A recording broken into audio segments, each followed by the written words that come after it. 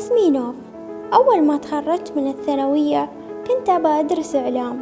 تم تخصص الإعلام يراودني ويخطر عبالي لأني أشوف مكاني فيه واللي دفعني لدراسة الإعلام هو قراءتي للكتب من يوم كنت صغيرة.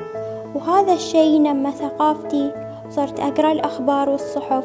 قررت أني أحول حلمي لواقع وأدرس الإعلام في جامعة عجمان. في يوم من الأيام كلمتني الدكتورة مها عن المسابقة والمسابقة كانت عن الأخبار المفبركة واقترحت علي أني أشارك فيها. طبعا جذبني موضوع المسابقة لأن هالموضوع يتكرر في هذه الأيام. ومرة من المرات وصلني خبر مفبرك وأزعجني واللي أزعجني أكثر أن الناس يصدقون كل شيء يوصلهم عن طريق الواتساب ويتداولونه بينهم ويتناقشون فيه. وهذا الشيء خلاني أدرك أن الأخبار تحاكي أطباع البشر وهي عرضة للخطأ والصواب وليست حقيقة منزلة. كانت فرصة أني أتحدى نفسي وأطور منها.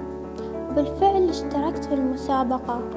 أشرفت الدكتورة مها على البحث. والحمد لله. الفوز كان من نصيبي. فزت بالمركز الثاني.